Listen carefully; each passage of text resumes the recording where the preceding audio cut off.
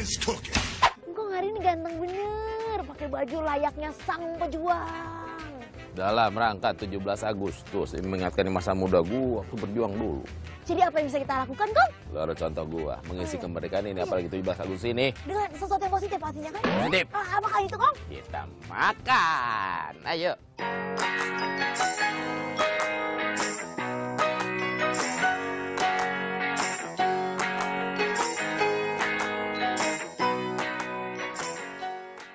Engkongnya emang luar biasa. Neng seneng lah kalau ngisi kemerdekaan sama Engkong. Engkong udah nggak berjuang dulu kan? Gua berjuang. Berjuang melawan hawa nafsu. Oh iya benar. Itu benar. juga berjuang. Oh iya dari dulu sampai sekarang ya Kong ya. Mm-mm. Oh. Dan sekarang untuk mengisi kemerdekaan. Ah, Makan.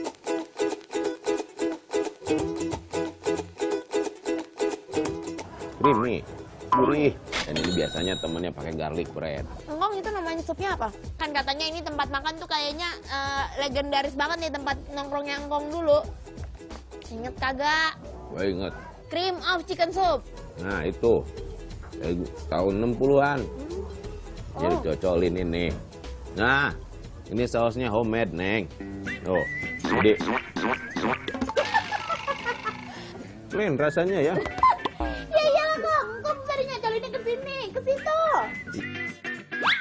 Hmm,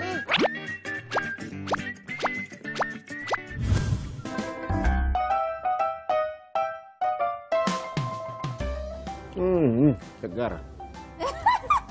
Asem tuh. Bagi-bagi makanya Kong. Iya. Keras dagingnya. Geser dikit Kong.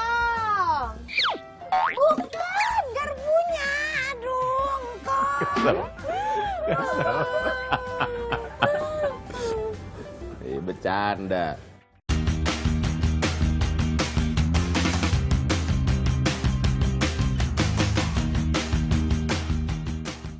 Mau Kong, 100% daging.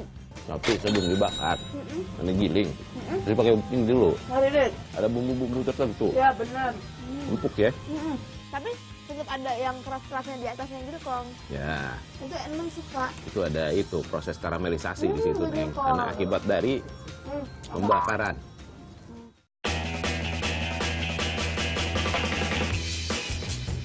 Ini Kong, satu lagi.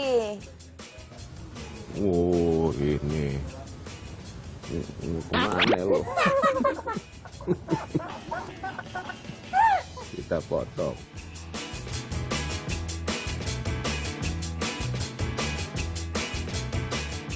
Ini kan namanya western.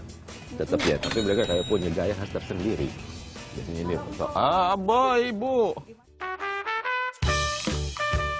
Ibu namanya siapa, Bu? Isti. Aku dengar gosip, Bu.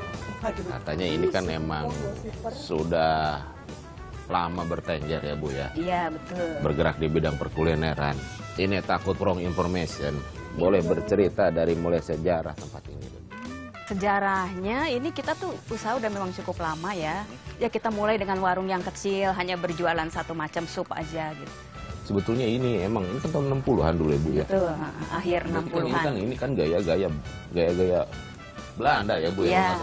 Emang dulu orang tua Ibu sempat jadi chef di di rumah orang orang Papua atau gimana? Enggak juga sih, kebenaran sempat eh, pernah tinggal di sana. Pernah tinggal di Belanda? Iya.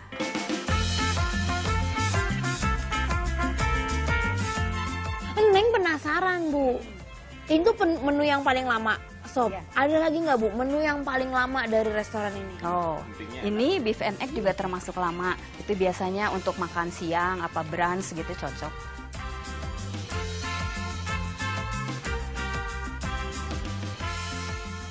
Ini namanya Schokoladen Streusel. So, Schokoladen Schokoladen. Streusel. Ya itulah Iya. pokoknya ya. Kita makan aja ya. Ini khas dari sana juga, Bu? Iya, Atau kreasi di sini, Bu? khas dari sana juga ya. Oh, berarti yang klasik-klasik makanan di sini juga ada ya, Bu? Iya, betul. Hmm.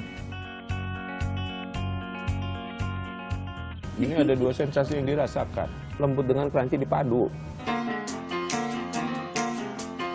Oke, Pon. Oke, Bos. Ting, ting, ting. Ting ting ting ting. Hidupnya. Hidupnya. Hidupnya. Nganyang nganyang nganyang nganyang nganyang. Nganyang nganyang nganyang nganyang. Kong, Kong, Kongnya lupa ketiduran. Kong. Ngunyah, ngunyah, ngunyah, ngunyah, ngunyah, ngunyah, ngunyah, ngunyah.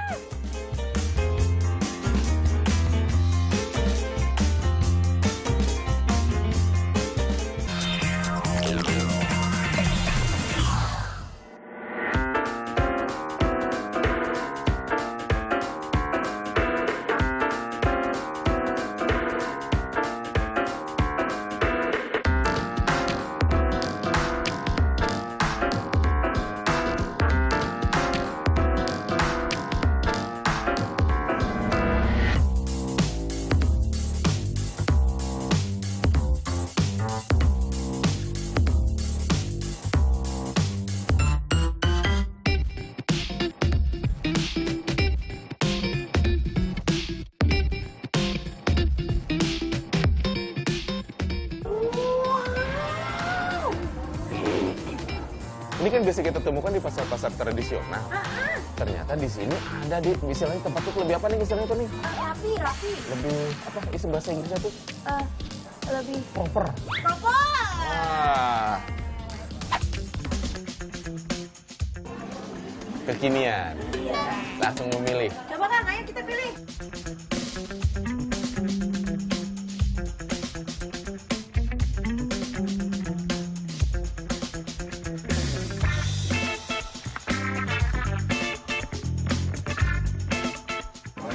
Eh, eh, pagi.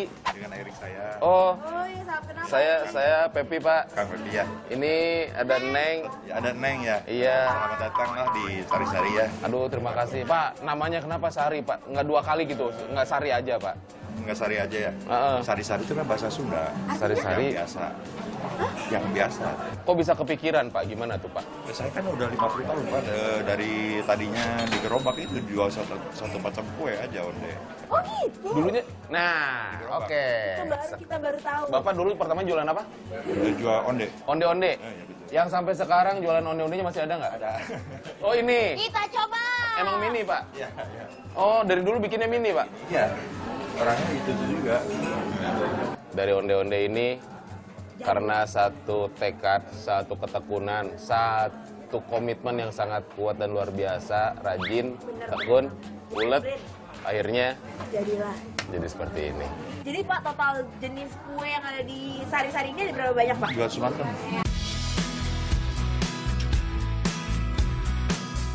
Pak, kalau Bapak gini berarti Bapak masih sering dong jalan-jalan nyari kue yang bisa Eh, dijadiin. sebenarnya eh, emak saya itu yang bikin kue, suka bikin kue dulu. Waktu ya saya belum lahir lah istilahnya.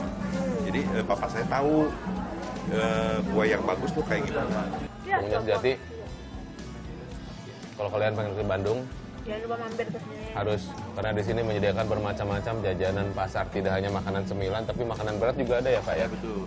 di antaranya pak Di antaranya nasi kuning, nasi uduk kayak gitu-gitu. itu berupa kemasan juga atau di mana pak Kemasan. oh Oh.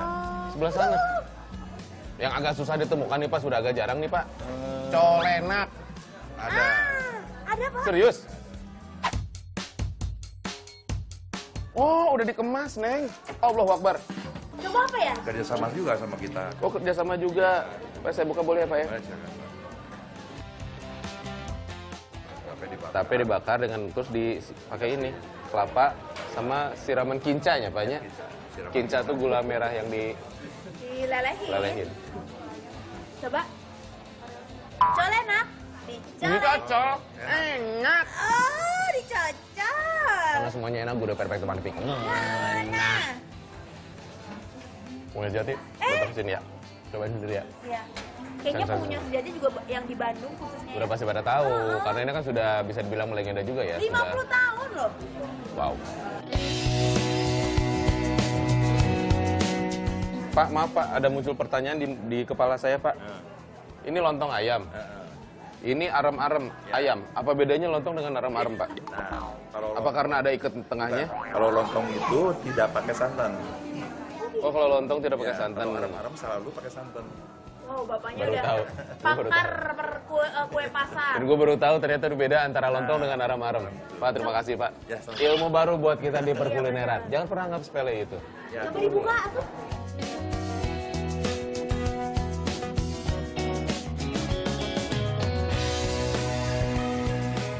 Di- kalau dicium wangi sekali Pak ini. Hmm.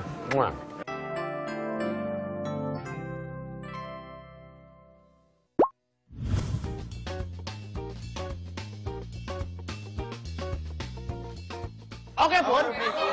King, king, king. Hidup punya. Hidup punya. Hunya, hunya, hunya, hunya, hunya, hunya, hunya.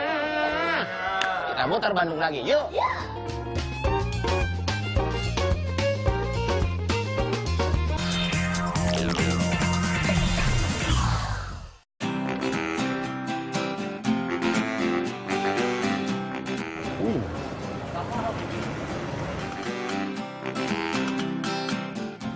Kok ada banyak, Neng?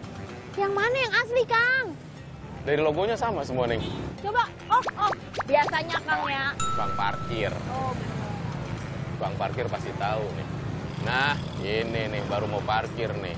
Parkir di depan warung Ibu Imas. Mas mau makan di sini ya? Ini kan ada banyak banyak tempat nih. Yang asli yang mana? Yang asli semua juga ada. Semuanya asli. Kalau yang pertama kali dibangun yang mana? Yang mana? yang belok kan? Belokan sini.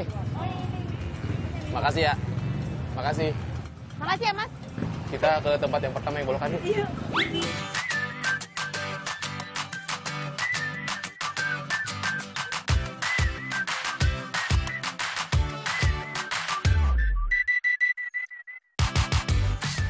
Lu mau apa, Neng? Mau ini, Kang. Terus ini, ini, ini, ini nih semuanya aja, Pak. Mau dong kol goreng. Selain kol goreng ada apa lagi yang digoreng? Jukut. Jukut kan adalah kalau dalam bahasa Indonesia rumput. Eh, serius, Kang? Kita tunggu hasilnya nanti ya.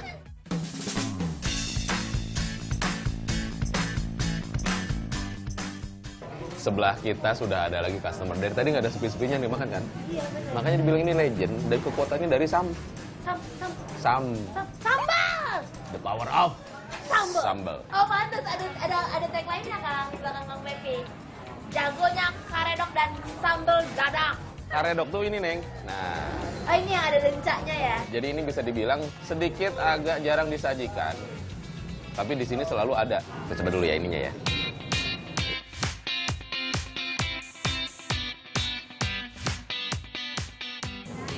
Ikur, terasi, Cabe. cabe. Ini juara ini. Kita tanya ya. Ini Bu, sehat Bu? Alhamdulillah. Dari semua tempat makan di Bandung kan banyak Bu. Kenapa milih Bu Imas? sesuai selera orang Sunda. Selera orang Sunda tuh seperti apa sih Bu? Sambal. Sambal tentunya nomor satu. Benar Kang. Sambal kuncinya. Selamat makan Bu, silakan. Ini nasi terus salada goreng nih Kang. Sama sambal lencahnya aja udah enak oburio perfecto magnifico. Gimana? Salada goreng ini Neng, jujur gue baru menemukan di sini. Coba dulu Neng. Ya, ya. Kriuk, gurih. Gurih, tapi ada lembek-lembek kayak kenyal-kenyal Iya. kangkung gitu ya di batangnya ya. Iya. Unik ya, enak loh. Enak.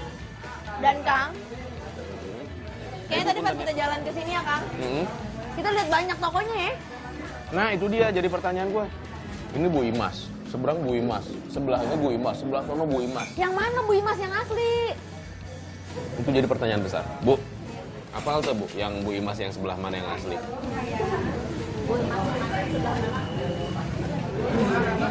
Ini, terus yang seberang yang sana, yang lain? Cabang. Orang biasa buka cabang ini ya. Jauh-jauh. Jauh ya. Ini yang sambal terasi nih. Ah, Hmm, hmm, hmm. Penggila pedas. wajib ke sini sih. Kalian ditantang ke sini. Ngobrol nggak sama Bu Imas? Ayo. Halo Ibu. Halo. Namanya siapa, Bu? Aku Imas Soraya. Bu, ini kan menu khas Sunda Iya. Yang selalu identik dengan sambal. Kita tadi sempat membahas bahwa di sini kita tentang membicarakan tentang the power of sambal. Ini salah satu tempat yang mempunyai kekuatan dengan sambalnya. Iya. Betul nggak? Betul. Dulu sih kita eh, dari tahun 85 ya. emang Wah, udah emang udah ada gitu. Cuman kan kita masih di gerobak ya, belum belum ada tempat gitu. Di tempat yang sama di sini, daerah sini. Di sini, makanya kenapa Ibu Imas tuh milihnya di sini supaya mengenang lah ya. Jadi kita kan awalnya dari sini nih gitu kan. Sebisa mungkin juga kita pengennya se- semua di jalan di sini aja lah gitu. Identifikasi sambal ya. Iya. Sambal goang, kalau ini jelas sambal terasi. Ini kan karedok, Iya betul. karedok lenca ya. Nah kalau sambal goang ini, Iya. apa nih unsur-unsurnya? Ini tuh lebih ke ada Kencur. kencur, kemangi, eh, cengek domba. Ah, cengek domba. Oren-oren gede. Terus pedas banget gitu kan. Iya, cabai yang warnanya oren-oren itu ya. Lebih ke itu sih teksturnya. Terus ya gula dan lain-lainnya. Ini Bu, ini ide dari mana? Ini. Ini Kan biasanya gini. kol nih, kol digoreng. Iya. Kita baru menemukan ini kan selada air, Bu. Digoreng dan rasanya sumpah. Ini enak banget ya. Enak banget. Gini ceritanya gini, iseng aja sih mereka kalau misalkan abis abis tutup warung, kalau nggak lagi istirahat kan lu makan kan, jadi iseng kan digorengin gitu, dikasih bumbu apa, terus karena mungkin minyak kita tuh kan habis goreng semua makanan nih, jadi kan enak kali ya. Hmm. Jadi kok enak gitu, kan kebetulan memang aku pegang akun Instagram kan, jadi aku promosiin, Upload. aku uploadin semua. Terus Akhirnya ini jadi banyak yang gemarin.